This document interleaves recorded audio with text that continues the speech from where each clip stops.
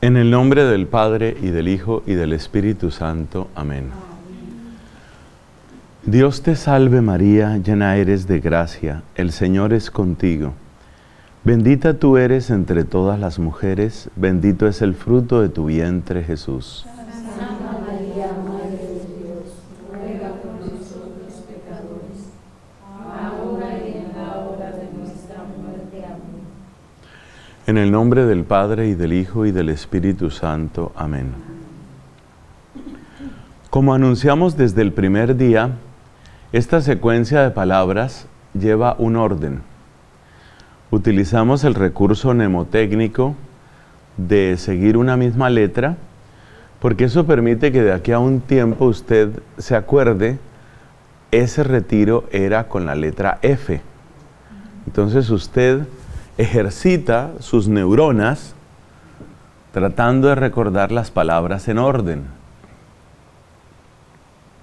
Empezamos con la fe, seguimos con la filiación, que ahí fue donde hicimos esos estudios sobre el Padre Nuestro. Después pasamos al fuego del Espíritu Santo. Ahí tuvimos dos predicaciones. Una sobre cómo uno se prepara para ese fuego a partir del descubrimiento de la pobreza radical. Y luego otra sobre cuál es la obra de ese fuego, para lo cual utilizamos varias palabras, varios verbos. Decíamos que el Espíritu ilumina, purifica, transforma, enciende y hace brillar. Después de hablar de esa obra del Espíritu, vemos que no se queda en un punto, en un instante, sino que construye una vida, una vida como en fidelidad.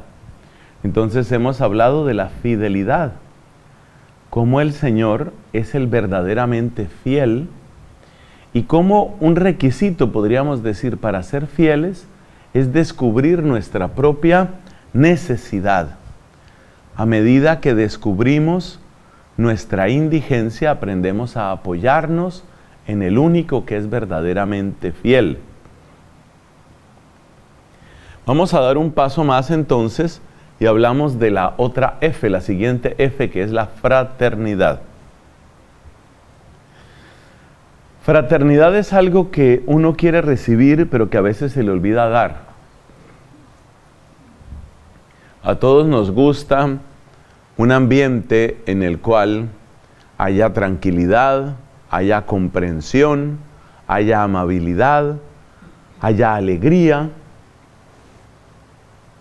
Esas son cosas que todos queremos.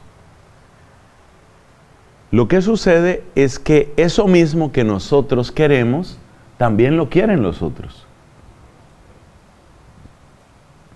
Y ahí es donde probablemente empiezan las dificultades con la fraternidad. Queremos recibir comprensión, pero a veces no somos tan comprensivos.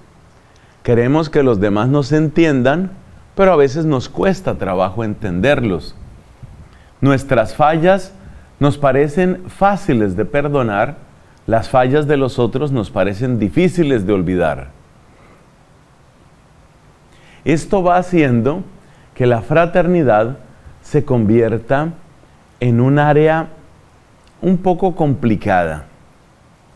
No siempre, pero tiene sus épocas en que es difícil. Hay que darse cuenta, en segundo lugar, que la fraternidad tiene que ver con lo humano y lo divino. Por eso al poner ahí las virtudes, vemos que hay virtudes humanas y hay virtudes teologales. Hay dos peligros cuando se habla de la fraternidad. A veces se quiere plantear de una manera puramente humana, a veces se quiere plantear de una manera puramente espiritual. Entonces, hay que tener no un balance, no es exactamente un balance como que uno dijera, a veces es lo humano sin lo divino o a veces es lo divino sin lo humano. Ese balance más bien significa que crezcan al mismo tiempo las virtudes humanas y las virtudes teologales. Luego vamos a ver algunos ejemplos de por qué esto es necesario. Y realmente en nuestra formación tenemos que ocuparnos tanto de lo humano como de lo más divino o espiritual. Otra manera de ver la fraternidad es en términos de lo que hemos llamado en otras predicaciones lógica de la transacción y lógica de la gratuidad. Lógica de la transacción es la que es más propia de nuestra naturaleza humana y que consiste en esta frase, yo trato como me traten. Eso es lo que espontáneamente le sale al corazón humano. Yo trato como me traten. Si son amables, yo soy amable. Si me tratan bien, yo trato bien. Si me van a tratar mal, ya se verán conmigo. Eso se llama lógica de la transacción. Pero al mismo tiempo, nosotros estamos llamados por el Evangelio, por el ejemplo de Jesucristo, Hijo de Dios, y nuestro hermano mayor, y por la acción del Espíritu, fuego divino, estamos llamados a una lógica de la gratuidad. Gratuidad, ¿qué significa aquí? Significa ese dar sin depender de una respuesta. Fíjate que cuando hablábamos de la acción del Espíritu decíamos, el Espíritu enciende. ¿Qué enciende? Fuego interior, fuego dentro de ti. ¿Qué quiere decir que el fuego esté adentro? Quiere decir que yo no dependo de la respuesta. Esa es la lógica de la gratuidad, no depender tanto de la respuesta. Porque si yo dependo completamente de qué cara me van a hacer, si esto les parece bien, si me lo van a agradecer, si me vuelvo famoso con esto, si me van a aclamar por esto que voy a hacer, entonces no somos libres. De manera que está ese otro tema. Fíjate los varios enfoques que tiene la fraternidad. Podemos ver la fraternidad desde el ángulo de las virtudes Podemos ver la fraternidad desde el ángulo de lo humano y lo espiritual. Podemos ver la fraternidad desde el ángulo de la lógica de la transacción y la lógica de la gratuidad. Hay distintas maneras de mirarlo. Lo cierto es que el tema de la fraternidad no es solamente nuestro. Si lo miramos bien, la fraternidad es el nombre que nosotros, religiosos, religiosas, le damos a la convivencia. O sea que el tema de la fraternidad se inscribe dentro de un tema más amplio que es el tema de la convivencia, el hecho de convivir. Y resulta que convivir es difícil. Pregúnteles a las familias, convivir es difícil. Pregúnteles incluso a las parejas, personas que se conocen mucho, que se aman dulcemente y les cuesta trabajo, les cuesta trabajo vivir. Yo me he llevado la sorpresa, una sorpresa más bien desagradable, triste, al descubrir que algunas parejas que ya tienen unos buenos años de casados, sin que haya una pelea muy grande y sin que haya un rompimiento, terminan durmiendo separados.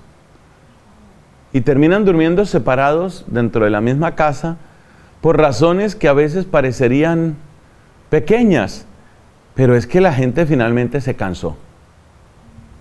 Resulta que uno de los dos, vamos a suponer, la mujer fácilmente siente frío, él fácilmente siente calor.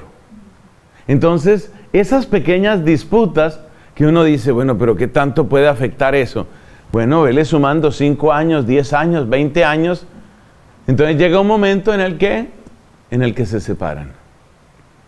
A mí eso me da tristeza. Yo creo que eso no es lo correcto. No creo que eso es lo que haya que hacer.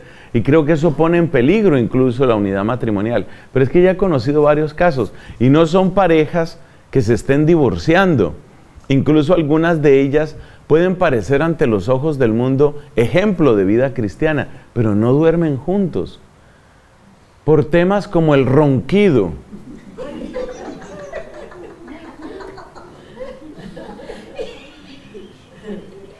Entonces, decía una señora, dicen que roncan o roncamos más los hombres Decía una señora, padre, ya son 35 años con ese acerrío ahí.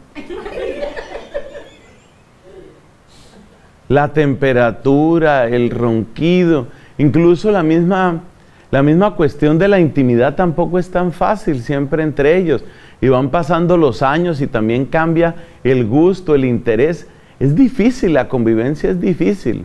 Y eso entre personas que se escogieron. Porque se supone que no se casaron a la fuerza, se escogieron. Casarse es como decir yo te escojo a ti. Pues a pesar de que se escogieron y todo lo demás les cuesta trabajo, la convivencia por muchas razones. No se menciona el caso de los hijos. La convivencia a veces con los hijos es difícil. Me decía, no hace mucho, me decía una pareja, tenemos ahí una hija, esto se volvió un hotel, esa es la, la queja que ellos tienen. Esto se volvió un hotel, llega la hija, a duras penas saluda a la recepcionista, que soy yo. Saluda a la recepcionista, se encierra en la habitación. Esos hijos, esas hijas que andan metidos en el celular. Llega el momento de una comida, el momento de una cena y cada uno con su celular al lado, metido ahí en su celular. Entonces, claro, la mamá no se siente mamá, se siente cocinera sin sueldo. El papá no se siente papá, el papá se siente un cajero automático que tiene que ir dando la plata y la plata y la plata.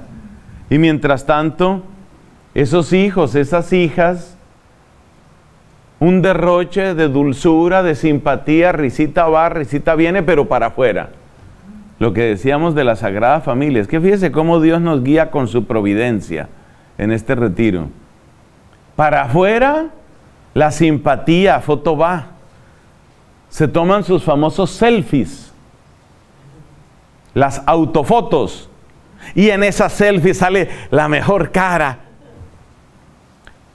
Pero termina la selfie y vuelve, vuelve la cara de piedra, como si los papás les debieran plata no ayudan.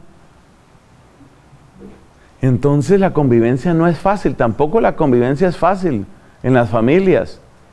Eso no es tan sencillo. O sea, el ser humano es difícil. ¿Por qué es difícil? Por la frase que dijimos al principio. Porque a todos nos gusta recibir, pero no nos gusta tanto dar. Y cuando damos, llevamos las cuentas. Eso es propio de la lógica de la transacción. Entonces, vamos llevando las cuentas.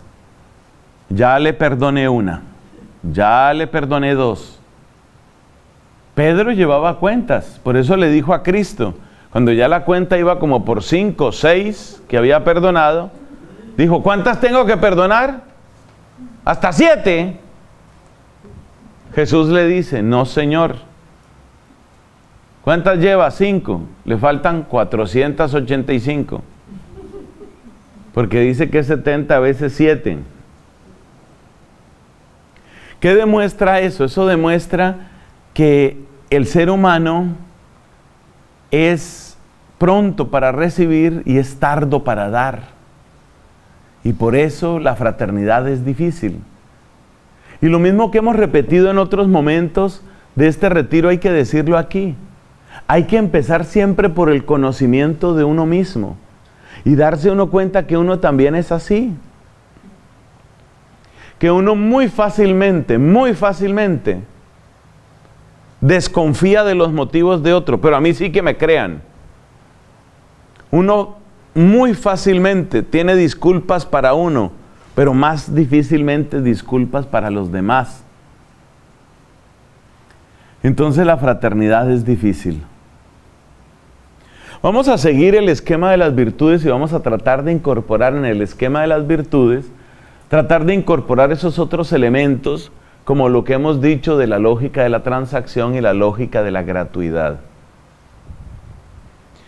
Lo primero que hay que recordar es que la convivencia nuestra es una convivencia entre seres humanos. Y los seres humanos tenemos una apreciación automática y universal para las llamadas virtudes humanas. Y por eso hemos de considerar que tenemos todos el deber de cultivar esas virtudes. Sin virtudes humanas, la fraternidad se vuelve muy difícil.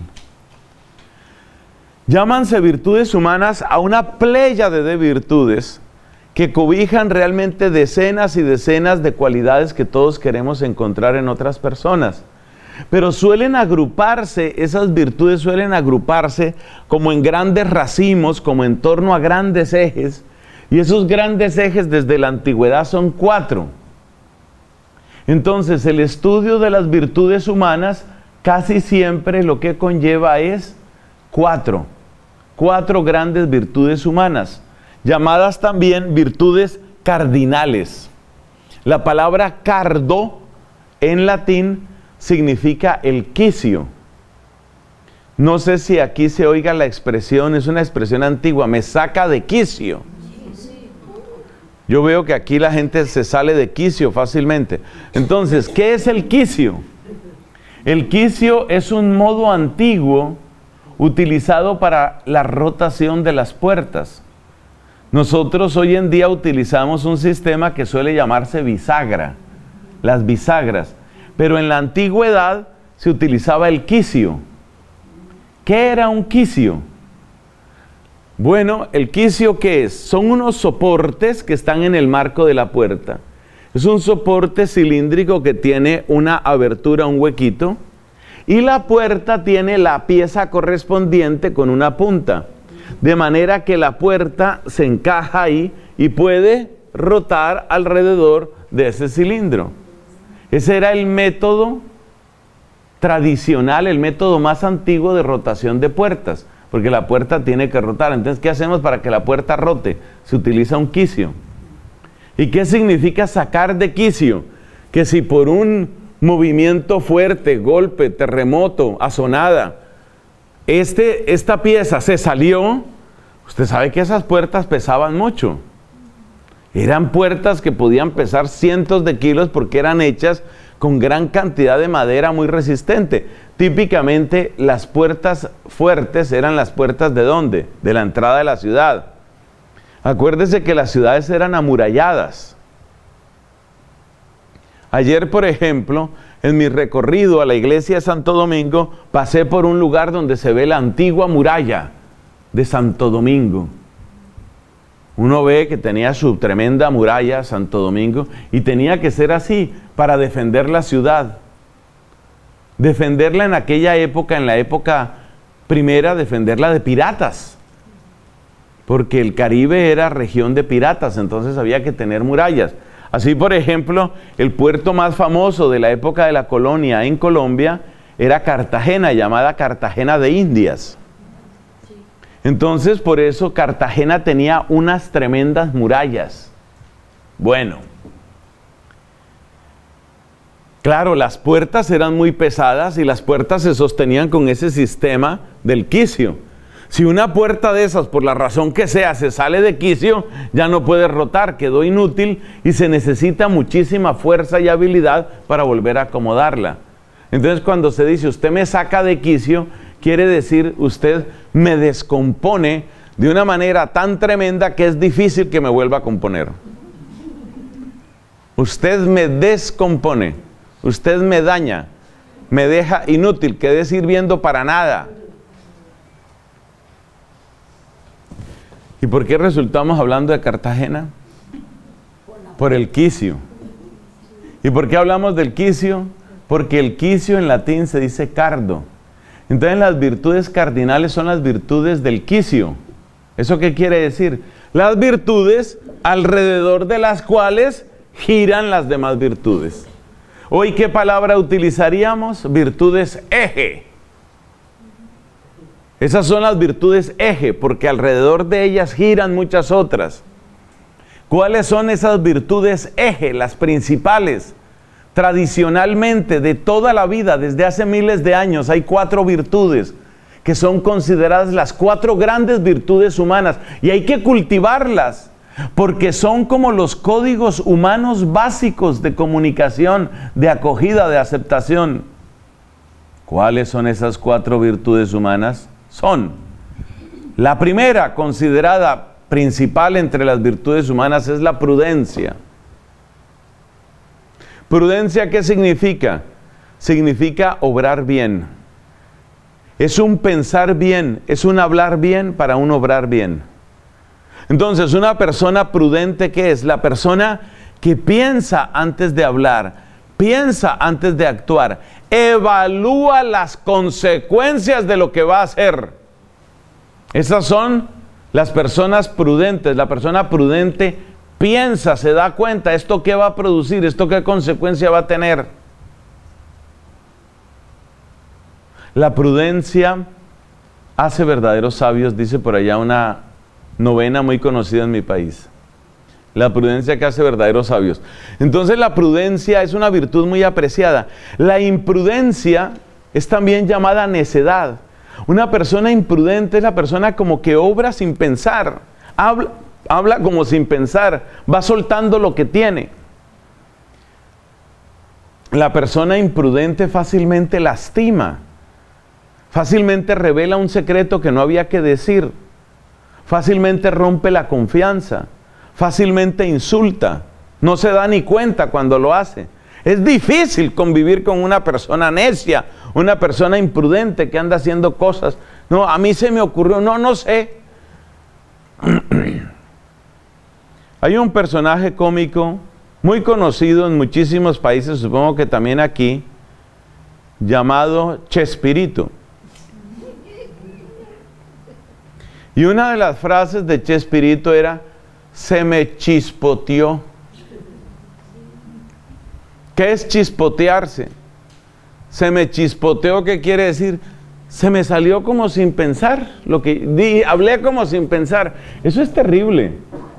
Obrar sin pensar es terrible. A veces por apresuramiento, a veces por pereza, a veces por irresponsabilidad. Usted no se da cuenta las consecuencias que tienen sus actos. Usted no se da cuenta que está cansando, que fastidia, no se da cuenta que talla a la otra persona, no se da cuenta. No, no me había dado cuenta. Esa es una persona imprudente. Falta en la virtud de la prudencia. Recuerden ustedes que en un proceso de canonización se evalúan estas virtudes, como ya les conté, creo. En las canonizaciones se evalúan eso. ¿Y la hermana era prudente? Sí. ¿En qué se nota? Esa es la pregunta fundamental. ¿En qué se nota que era una persona prudente? Bueno, la verdad no se notaba. La verdad no era ningún prudente. Era una hermana imprudente, eh, perezosa, más bien necia, entrometida. Bueno, quiere decir que se archiva el proceso de canonización porque no hay, no hay manera, no hay manera de avanzar con esa canonización. semejante imprudencia. Entonces, dése cuenta, dése cuenta que se necesita, se necesita la prudencia, la prudencia es muy importante. La persona prudente en cierto sentido se anticipa. Es parte de la prudencia la capacidad de anticiparse. Anticiparse implica observar a la otra persona, que de eso vamos a hablar otro poquito aquí en las virtudes domésticas. Voy a hablar con una persona. Tengo cosas que decirle y me va a oír. Espere, ¿es el momento de hablar? ¿Es el mejor momento para hablar? No sé si será o no será, pero yo sí le digo lo que le tenga que decir. Esa es una persona imprudente. Porque usted está hablando para desahogarse, no para que lo oigan, ni para que lo entiendan. Entonces la persona que habla para que la oigan es distinta a la persona que habla para desahogarse. Y uno no tiene que hablar ni siquiera solo para que lo oigan, sino para que lo escuchen, para que lo entiendan para que acojan lo que uno dice. Este santo que me pusieron por aquí, San Juan Bosco, este santo, por ejemplo, escribe sobre eso. Él dice que con mucha frecuencia la gente joven le agota la paciencia a uno. Claro, hay que saber que los jóvenes con los que él trataba eran especialmente difíciles. Pero también hay otros jóvenes que le pueden acabar la paciencia a uno. Entonces dice él, dice San Juan Bosco, es fácil hablar para desahogarse, pero es muy poco el bien que se hace así. Si el momento que yo escojo para hablar con usted es que ya cuando está ese corazón, hay unas ollas que llaman así, olla a presión llaman. ¿Se llaman así aquí también? Entonces la olla a presión cuando llega un momento en el que ya no aguanta más, eso sube, sube una especie de pito y se empieza. Entonces hay personas que son como la olla a presión. Van esperando a que se llene, se llene la medida. Y lo único que dices, pero me va a oír, me va a oír. Un día se las voy a decir todas de la A a la Z. Le voy a decir hasta de qué se va a morir. Le voy a decir, eso es pésimo, eso es imprudente. Porque esa persona no está hablando para que la oigan, está hablando para qué? Para desahogarse. Mal. Entonces la prudencia, la prudencia siempre supone una capacidad de anticiparse y supone una capacidad de reconocer el momento que está viviendo la otra persona. Para eso, para eso se necesita observar. La prudencia siempre requiere una gran capacidad de observación. ¿Cuál es el momento? ¿Cuál es la manera? No necesariamente significa complacer. No confundamos ser prudente con no causar problemas. Hay veces que la prudencia implica causar problemas. Hay veces que la prudencia implica contradecir. Pero siempre el criterio de la prudencia es buscar el bien mayor. Démonos cuenta que Cristo muchas veces contradijo la opinión de la gente contradijo a sus mismos apóstoles. Por eso es una falacia terrible la de aquellos que creen que el cristianismo puede funcionar como una democracia. Como ya dijo un sabio sacerdote hace mucho tiempo, ¿qué tal que Cristo hubiera sometido a votación la cruz? ¿Ustedes qué opinan? ¿Me crucifico o no me crucifico? A ver, escriban ahí en un papelito, sí o no. Escriban y hacemos votación. ¿Cruz o no cruz? Hay cosas que no se pueden resolver por votación. La prudencia no consiste en complacer. La prudencia no consiste en quedar bien. La prudencia tampoco consiste en aplazar y aplazar, que es otra caricatura de la prudencia. Las personas que son muy prudentes. A veces encontramos algunos pastores que son muy, muy prudentes y su prudencia consiste fundamentalmente en el esparadrapo. Es decir, le ponen aquí, no habla, no habla, no, no comunica, no advierte. Hay que, hay que pedirle a Dios que nos dé pastores valientes. Por eso estas virtudes humanas hay que saber complementarlas. Porque, por ejemplo, la prudencia tiene que complementarse con la fortaleza. Las cuatro ya sabemos que son prudencia, justicia, fortaleza y templanza. La prudencia tiene que complementarse con la fortaleza, porque si no la prudencia puede volverse un homenaje a la cobardía. Entonces a veces pasa en algunos superiores que no corrigen nada, están esperando el momento apropiado. ¿Cuándo llegará el momento apropiado? No sabemos, esperamos que antes de la parucía. Tampoco. Prudencia no significa complacer, prudencia no significa aplazar, prudencia no significa cobardía, pero prudencia tampoco significa desahogarse uno. Es una búsqueda de cuál es el bien aquí y cuál es la mejor manera de alcanzar ese bien. Ese bien puede tener sufrimiento, ese bien puede traer perplejidad, es famoso lo que sucedió por allá en 1216 o cosa parecida, tal vez sería el 17, cuando el fundador de mi comunidad, Santo Domingo de Guzmán, recién fundada la comunidad, los envía Tenían meses, meses. Y los envía para que funden conventos y no cerca, lejísimos. Tú te vas para París, tú te vas para Polonia, tú te vas para Bolonia. Los de Bolonia no confundirse con los de Polonia. Tú te vas para Madrid. Cada uno a fundar.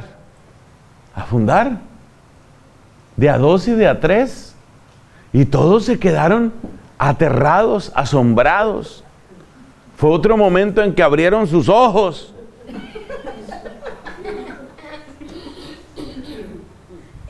¿Cómo así? ¿Qué es esto? Y entonces respondí a Santo Domingo de Guzmán, dejadme obrar, sé bien lo que estoy haciendo. Y añadió esta frase, el trigo amontonado se corrompe, el trigo disperso da fruto.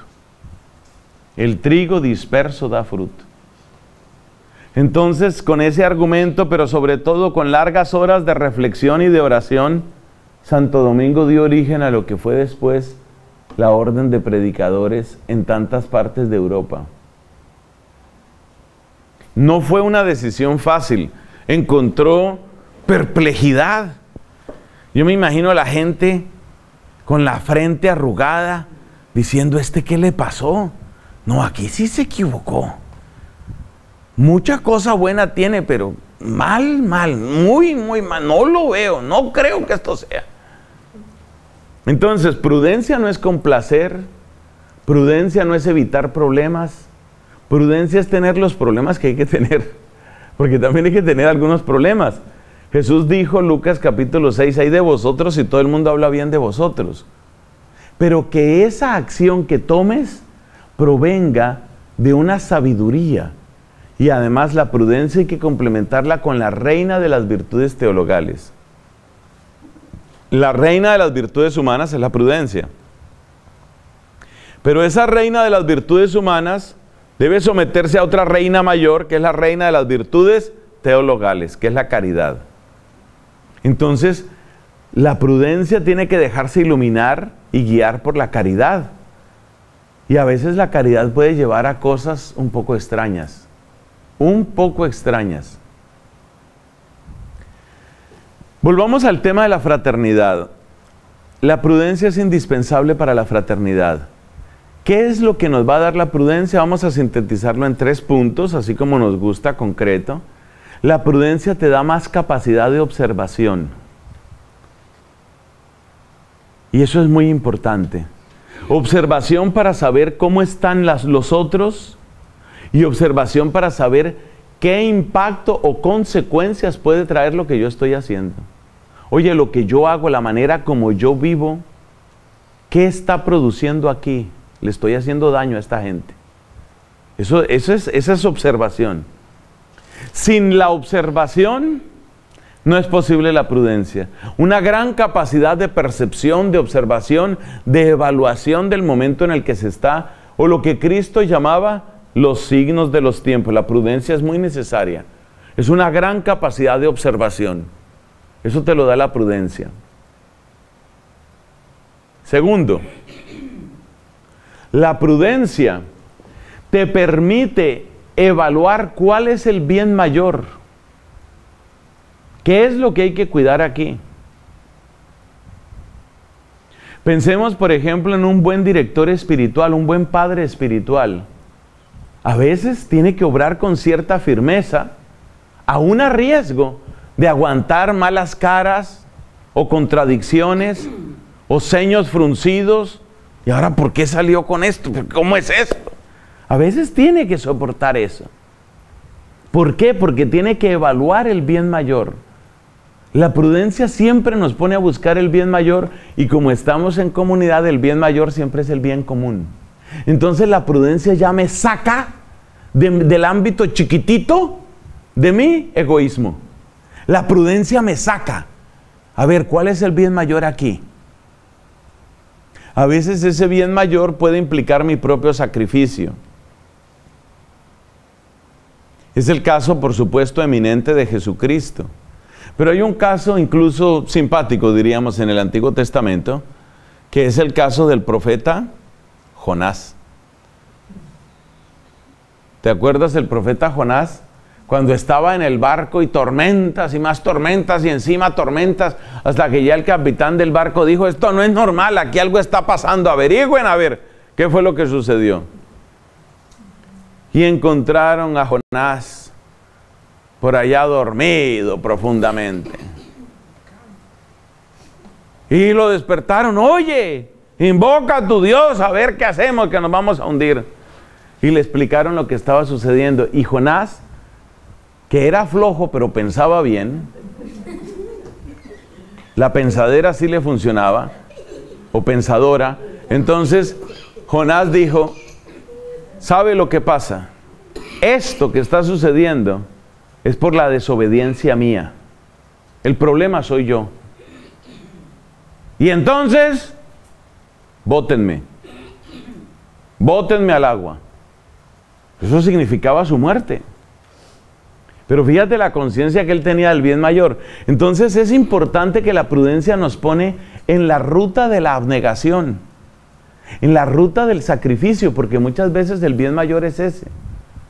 Cuando uno tiene una enfermedad, cuando uno tiene un problema, cuando uno tiene una herida, ¿Qué es lo que a veces más da descanso? Quejarse. Ay, ay, ay. Ay. Ay, ay, ay. Pero la persona que piensa en el bien mayor dice, de verdad, ¿cómo se le va a volver la vida a esta gente si yo empiezo a quejarme a todas horas? No, no es tan bueno que yo me queje a todas horas me voy a quejar solamente de 3 a 4. Entonces, la persona, la prudencia, la prudencia prepara para la abnegación. Entonces, fíjate, llevamos dos cosas. La prudencia te da observación. Mirar, mirar a los demás. ¿Cuál es el mejor momento para hablar esto? Segundo, la prudencia te hace buscar el bien mayor y el bien mayor muchas veces te hace entrar en tónica de abnegación.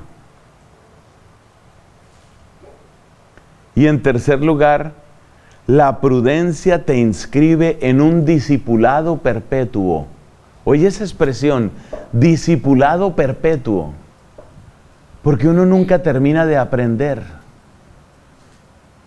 La persona que está buscando la prudencia, la busca con constancia, con perseverancia. ¿Y qué te da el discipulado perpetuo? Te da la capacidad de escucha y la capacidad de humildad. La humildad porque estoy aprendiendo. A veces les pasa a quienes están en la formación o a quienes tienen labores de gobierno, les pasa que caen en esta tentación y es creer, yo ya esto lo sé. Ah, yo casos como este, mira. Mm. Me acuerdo un padrecito de mi comunidad que se ufanaba. Eso no es bueno, ufanarse no es bueno. Se ufanaba. Yo ya he sido toreado en muchas plazas. Yo ya esto me lo sé. Ah, ese caso ya me lo sé. Es igualito a lo que pasó. Exactamente lo mismo que pasó en 1936. Lo mismo que pasó. Creo que esa es la época de Trujillo. Ya esto pasó. Entonces hay un peligro. Cuando uno cree que todo lo que está sucediendo es exactamente lo mismo que yo ya conozco, ahí hay un peligro. Porque uno se cierra a la novedad. Porque uno deja de aprender. Y porque a veces uno trata de aplicar remedios que no son los necesarios para este momento. Ah, no, yo con esos gallitos de pelea, yo ya los conozco. Los conozco, yo ya sé cómo tratar. Ay, me vienen a mí. He sido toreado en muchas plazas. Es mala idea ufanarse. Es verdad que hay parecidos entre el presente y el pasado, pero cuidado que también hay novedades. Y a veces vocaciones nuevas traen circunstancias nuevas. Entonces por eso la prudencia me pone siempre en un discipulado perpetuo. Tengo que aprender esto cómo es. ¿Esto qué consecuencias trae? Por ejemplo, con los medios electrónicos, tipo celulares, tipo internet, eso todavía está, ahí hay mucha cosa que hay que estudiar. Porque ya en algunos lugares se han perdido algunas vocaciones por internet. Pero también es verdad que en otros lugares la principal fuente de vocaciones es internet.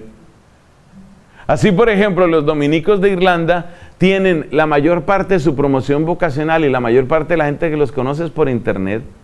No quiere decir que van a entrar también por internet y hacer el noviciado por internet. Pero ese primer contacto tan necesario, por lo menos saber que existen. Es que si la gente no sabe que existen, ¿ah? Entonces algo de internet se necesita. Pero se han dado toda clase de casos por internet. Entonces, yo no puedo decir, ah, lo de Internet, mire, lo mismo que el teléfono. No, no, no, un momento, hay parecidos y hay diferencias. ¿Cómo, ¿Cuál es el recto uso de estos nuevos medios? Estamos aprendiendo todos. Se pueden hacer cosas buenas. Yo me llevo unas sorpresas hermosas con gente que dice, yo llevo años oyéndolo a usted, le conozco su familia. Así me pasó una vez. Unos vecinos allá del convento me invitaron a una cena y empiezan a hacerme una cantidad de preguntas sobre la familia y el papá y sabemos que su mamá murió y tal y su sobrina y sus hermanos y yo dije, ¿esto qué? Esto es la KGB. No, simplemente que como uno predica y predica, entonces en la predicación uno va dando datos. Yo no sé si un día mi familia me demande, es posible que la familia según van las cosas.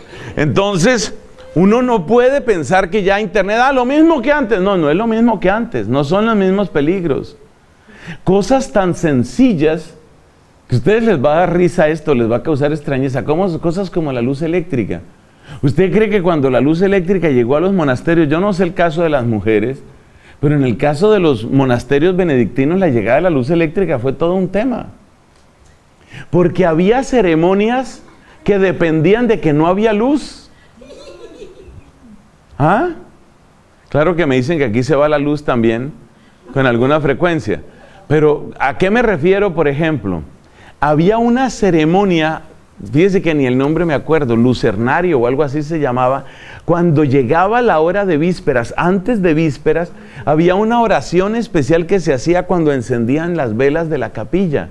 Entonces era una ceremonia muy linda. Yo estuve una vez, fíjese que algo de eso conservan, yo estuve una vez en el monasterio de cistercienses de Poblet, allá en España, y participé con ellos de la oración de vísperas y la oración de completas. Oiga, y ellos oran, ellos oración de completas la hacen a oscuras y todavía con las velas esas y las encienden. Claro que tienen luz eléctrica en el lugar. Pero algunas de esas tradiciones conservan. Entonces ahora llega uno, enciende la luz.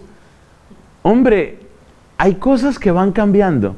Entonces, ¿por qué llegamos a este tema? Porque estamos diciendo que la prudencia te mantiene en un discipulado perpetuo. Jesús dice, un escriba que entiende del reino de los cielos es como el dueño de casa que saca del cofre lo antiguo y lo nuevo. Entonces el prudente se da cuenta, mire, este tema de la luz eléctrica es parecido a la luz natural, pero también es distinto. Y así sucesivamente. Entonces los tres grandes bienes que vamos a sacar de la prudencia son una gran capacidad de observación. Gran capacidad de observación.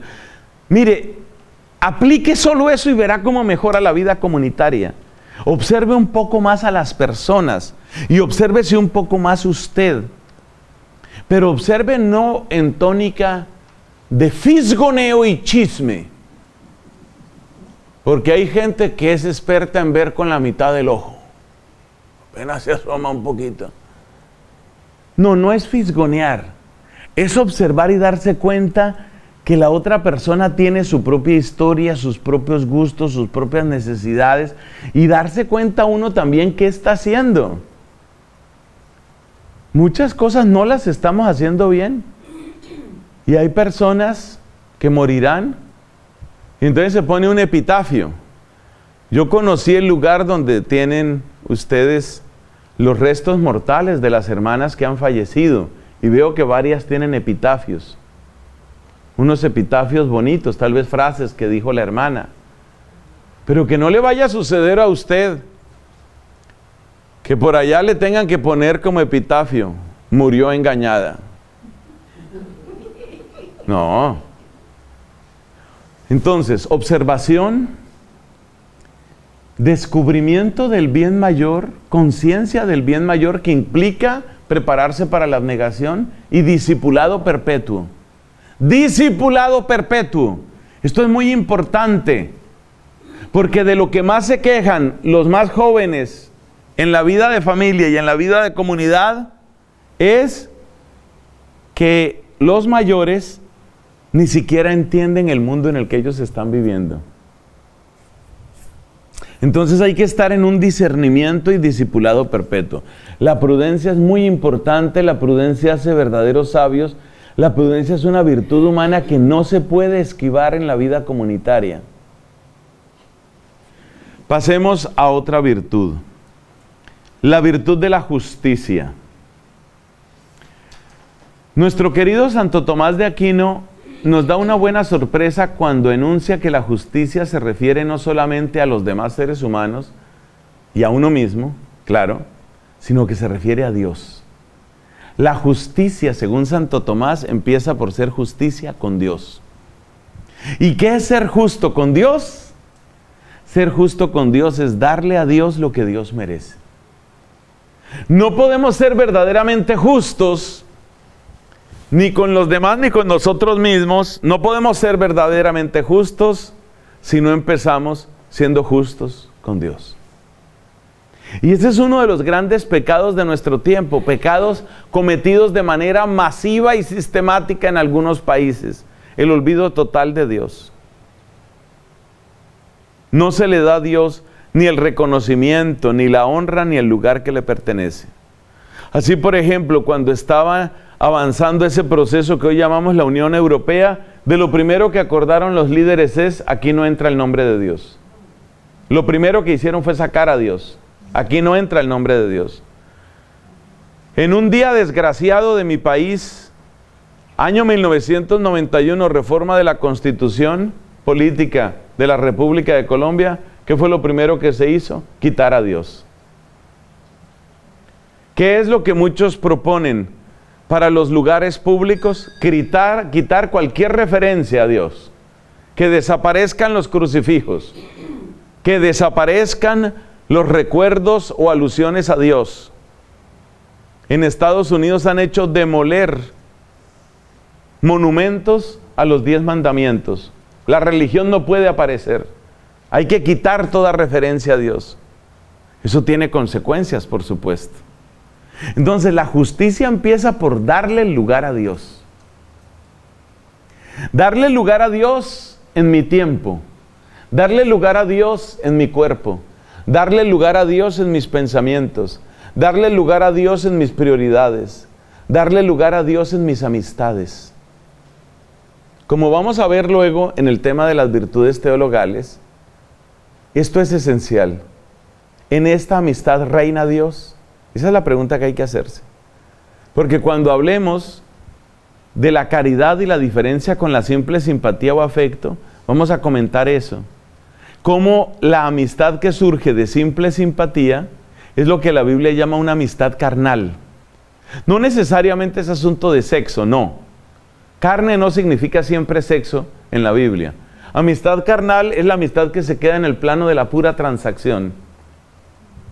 Es decir, soy agradable con los que son agradables conmigo.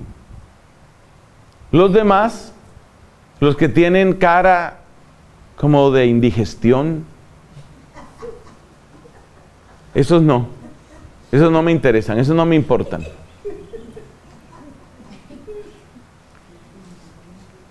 Como le preguntaban allá a un señor, ¿usted está llorando? No, no, no, yo no estoy llorando. Usted es bien feo, ¿no? Entonces, la, la justicia empieza por ser justicia con Dios. Y el que no es justo con Dios no puede terminar siendo justo con las demás personas. Y ser justo con Dios es que Dios tenga su lugar en todo, incluyendo el mundo de mis afectos. En esta amistad reina Dios, Dios tiene su lugar, Dios se glorifica en esta amistad. Esa pregunta es muy parecida a la que hacíamos cuando hablábamos del amor de Dios, ¿no? Cuando hablábamos de la fidelidad. ¿Recuerdas que en la fidelidad decíamos que la gran pregunta es, ¿esto le agrada a mi amado? Algo parecido hay que decir aquí con la justicia. El tema con la justicia es ese. Aquí está Dios, Dios primero. Esta mujer, una seglar tan interesante, verdaderamente una señal muy interesante, muy importante del siglo XX en términos de vida cristiana, la italiana Chiara, Chiara Lubick. Chiara Lubick, fundadora del movimiento de los focolares, tenía ese lema que muy pronto lo predicó. Ella empezó con un grupo de amigas, este movimiento de los focolares, y se dio cuenta muy rápidamente, claro, mujer inteligente, se dio cuenta que en el grupito de amigas fácilmente la una se hace siempre con la que le cae bien y las tres que se caen bien se juntan y hablan y muy pronto de qué empiezan a hablar de las que les caen mal. Cuando uno se junta solo con los que les cae bien, termina hablando de lo que les caen mal, eso es así. La carnalidad lleva a la murmuración, pero muy, muy rápido. Entonces Kiara, mujer muy inteligente, muy pronto empezó a hacer ver que esa no era verdadera fraternidad. Entonces ella decía, el lema de ella, Dios en medio, Cristo en medio. Ese es el lema. Si Cristo tiene su lugar en nuestra fraternidad, en la manera como tú y yo somos amigos, si Cristo tiene su lugar entre nosotros, todo va a ir bien. Porque si Cristo está en medio, yo no te puedo decir a ti un chisme, no te puedo hacer una intriga, no te puedo decir un engaño sin que primero pase por los oídos de Cristo que está entre tú y yo. Entonces la justicia empieza por ahí. Pero luego la justicia tiene que tocar todas las áreas de nuestra vida. La justicia cristiana no consiste en darle igual a todo el mundo. La justicia cristiana está en Hechos de los Apóstoles y se daba a cada uno según su necesidad. Esa es la justicia cristiana. Entonces fíjate cómo la justicia depende de la prudencia en la medida en que depende de la observación. Si yo me doy cuenta que hay una persona que necesita más, lo justo no está en que todos reciban igual, sino en que aquel que verdaderamente necesita más, tenga más. Esto vale para lo material, y esto vale para lo afectivo y esto vale para el tiempo y vale para todo. Porque a veces también entra el tema de los celos. Piensa en una familia. Escena típica en la familia. Había un niño o niña que era el hijo único. Llega el hermanito. ¿Qué siente el mayor que ya ha sido desplazado? Celos. Celos. Entonces, los hechos de los apóstoles nos invitan a madurar en esos términos. Lo correcto es que ese niño mayor, que tiene unos tres años o tres años y medio, escuche lo que dijo San Agustín.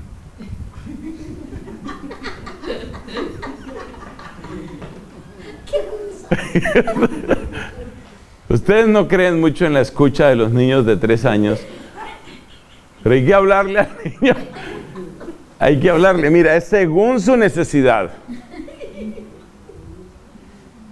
Según su necesidad. Entonces eso quiere decir, eso quiere decir que también así pasa a veces. Hay personas que requieren un poco más de tiempo. Esto es difícil porque en el gobierno, por ejemplo, en una comunidad, fácilmente los que están en el gobierno como que tienen un carácter como un poco de papá o de mamá, vamos a decir. Y a veces, bueno, yo sé que esto suena tan inmaduro, ¿no? Pero es que así pasa en la vida real. Hay gente que se pone celosa. ¿Por qué el prior habla más con otros y conmigo no habla? yo no existo.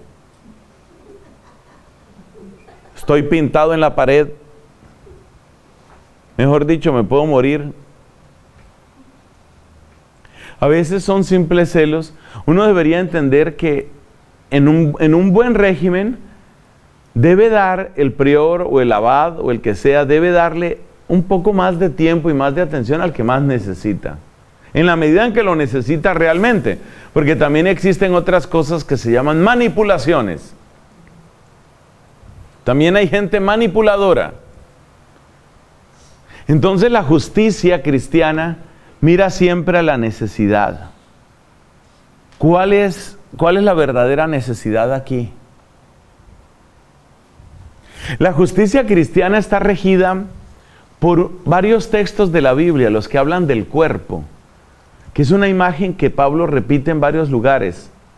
La enuncia en Romanos capítulo 12, la enuncia en 1 Corintios capítulo 10, la enuncia en Efesios capítulo 4 y en otros lugares todavía.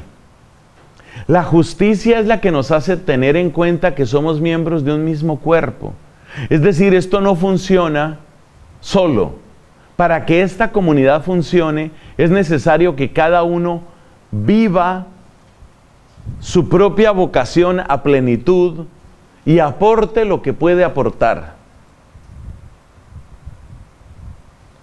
Así, por ejemplo, la profesora de canto que yo tuve en el noviciado era una religiosa, una religiosa española, valenciana, ella.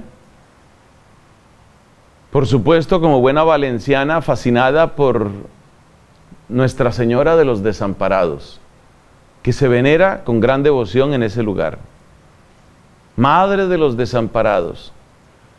Entonces era muy importante para ella que se cantara el himno de la Madre de los Desamparados. Yo creo que ella se sentía un poco en España cada vez que se cantaba el Madre de los Desamparados.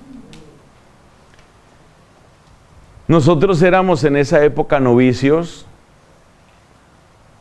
algunos un poco desafinados, otros más desafinados y otros casos perdidos. Entonces esta madre que quería transportarse a Valencia con el himno de la Madre de los Desamparados, sufría. Pero finalmente fue distribuyendo, vosotros con la primera voz, vosotros con la segunda voz, pero es que había el caso de uno que sí era muy grave.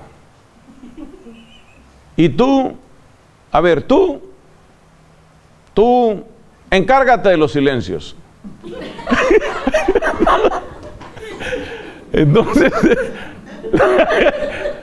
la, justicia, mire, la justicia lleva, la justicia lleva a que uno entienda que somos diferentes y que cada uno tiene que dar lo suyo. La justicia no busca la igualdad. La justicia busca la plenitud en el cuerpo de Cristo. Somos un cuerpo. Entonces la justicia busca que cada uno encuentre su lugar, que cada uno encuentre la plenitud de ese don. ¿Por qué? Porque es Dios el que nos ha llamado, porque es Dios el que nos está construyendo. Nosotros somos edificación de Dios. Como somos edificación de Dios, Dios te llamó para qué? Para darte un lugar. Y nuestro trabajo como comunidad es pedir esa luz a Dios y bajo su guía ir encontrando cuál es el lugar tuyo. Y el tuyo y el tuyo. Y a medida que vamos encontrando ese lugar se va haciendo una preciosa, hermosa, armónica construcción. La comparación que se hace desde antiguo es la que tiene que ver con la la que tiene que ver con la sinfonía. Qué palabra tan bonita, sinfonía. Esa palabra griega syn significa junto, significa con. Así como simpatía es el tener el mismo sentimiento, compartir el sentimiento, la sinfonía es un solo sonido. Es una música que se hace de muchas músicas. Entonces el ideal de la vida comunitaria es ese. Y por eso todos debemos ayudar a que cada uno vaya encontrando su don propio. Lo tuyo es el silencio. Bueno, ya ese era un caso distinto. Ir encontrando el don de cada uno. Entonces ayudamos a la justicia cuando buscamos la armonía. Casi podemos decir que hay una palabra más propia cuando se trata de vida comunitaria, más que la simple justicia. Porque fíjese que cuando uno pelea por la justicia casi siempre es que las cosas están mal. Esto es injusto. Me parece injusto que se haga esto. ¿Por qué? ¿Por qué se gasta tanta tela en el hábito de esa hermana? ¿Por qué? Bueno, es que hay un problema, ¿cierto? Hay una situación Entonces, la verdad es que la justicia no hay, que volverla una obsesión. Nuestra obsesión debe ser más bien que cada uno reciba lo necesario, que cada uno encuentre su lugar, que cada uno crezca a su manera. Pero esa manera bajo el imperio primero de Dios al que le hemos buscado su sitio. Esa es la iglesia también. Por eso otros han comparado a la iglesia hermosamente con un jardín, con un huerto. Yo no puedo pedir lo mismo. Si yo llego donde una rosa, por ejemplo, y le digo, ¿y de usted qué se come? La pobre rosa nada más me mira y sonríe. La rosa no es para comer, la rosa tiene otro papel. Entonces, dentro del huerto, dentro del jardín, dentro de la sinfonía, dentro del cuerpo, todas esas comparaciones son para qué? Para entender que la justicia, la virtud de la justicia vivida en comunidad, requiere qué? Ayudar al hermano a encontrar su vocación. Porque existe la vocación dentro de la vocación. Por ejemplo, vosotras compartís una hermosa vocación, la vocación del Carmelo. Pero eso no significa que seáis todas iguales, eso no es cierto. Cada una tiene su característica y es trabajo de todos, no solo de los maestros ni de los superiores. Es trabajo de todos ayudar a la persona a que encuentre su lugar y a quien ese lugar florezca de su plenitud. ¿Y cómo puedo ayudar yo si yo no soy ni maestro, ni superior, ni nada de eso, ¿yo cómo puedo ayudar a que la otra persona encuentre su vocación? Hay dos herramientas, ambas muy importantes.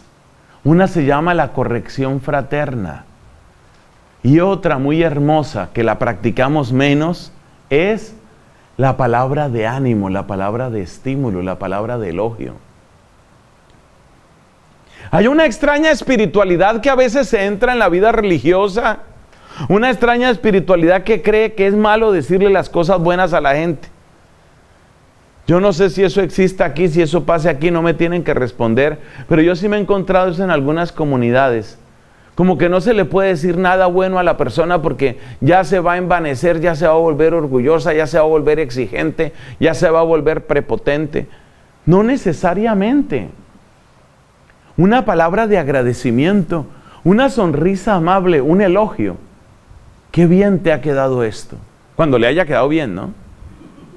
Porque si no, si la persona, por ejemplo, ha hecho un desastre de comida, qué bien te ha quedado la comida. ¿Por qué lo dice? Porque el carbón es digestivo. Entonces, entonces lo que iba a ser un elogio se convierte en una ironía que lastima. Entonces hay que utilizar, todos tenemos que utilizar esas dos herramientas. Una corrección fraterna hecha con prudencia y con caridad, ayuda. Casi nadie sabe recibir correcciones. Hay gente que se va a morir de vieja y no, no aprendió. No aprendió. No aprendió. Entonces en el epitafio dirá, terca hasta el final. No aprendió. ¿Verdad que los epitafios son muy caritativos? Si los epitafios dijeran todas las verdades, eso sería terrible. Eso sería terrible, sería muy complicado, porque hay unos epitafios que tendrían que salir así. Me encontré por allá una, en, un cementerio de esos de monasterio, una hermana que pidió que le pusieran una frase. ¿Qué decía la frase? ¿Se dan cuenta que sí estaba enferma? Entonces los, los epitafios hay que cuidar la justicia. ¿La justicia qué es? La justicia es buscar la armonía, ayudar a que cada persona crezca y florezca. Tú puedes ayudar mucho a otra persona. No le dejen todo el trabajo a la priora. Cuando una persona, cuando un prior, cuando una priora está muy exigido, iba a decir, se empieza a adelgazar. Entonces, cuando una persona, no le dejen todo el trabajo a los superiores. Acuérdense que tenemos dos herramientas que tenemos que practicar todos. El elogio y la corrección. Y hay que practicarlos ambos. A veces se necesita más humildad para elogiar que para corregir. No dejen de dar una voz de ánimo, de vez en cuando, no tiene que ser todas las veces. Eso le va ayudando a la persona a ir descubriendo, ir encontrando su sitio, la armonía. Bueno, ahí vamos hasta ahora con esas dos virtudes, no nos extendamos más. La prudencia y la justicia. La síntesis de la prudencia es ese anticiparse para buscar la mejor manera de obrar, la mejor manera de pensar, la mejor manera de hablar. Tres grandes frutos de la prudencia son una mejor capacidad de observación, una mejor evaluación sobre el bien común. ¿Igual era la tercera? ¿La tercera cuál era? El discipulado perpetuo, que no se nos olvide eso, hasta el final aprendiendo. Y luego la justicia. Primero dijimos justicia con Dios. La justicia con Dios. Darle su lugar en todo. Segundo, es necesario que nuestra justicia siga la ley bíblica. Se le da a cada uno según su necesidad. Y por consiguiente, la justicia que nosotros buscamos es en realidad armonía. Buscamos armonía. ¿Y la armonía cómo puedo yo sumar a la armonía? Para que seamos verdaderamente un cuerpo, para que seamos como un jardín donde el Señor se pasea a gusto. ¿Qué puedo yo aportar? Puedo aportar con dos herramientas que todos tenemos, el elogio y la corrección, para que cada una pueda ir encontrando su lugar, pueda ir creciendo en su vocación. Eso es muy hermoso. La Biblia no predica la clonación. La iglesia no predica la clonación. La idea no es que seamos fotocopias, que seamos repetidos. No. La idea es que cada uno, con la ayuda de los demás y bajo el imperio suave y eficaz del amor divino, alcance su plenitud y complemente a los otros como sucede en el cuerpo. Gloria al Padre, al Hijo y al Espíritu Santo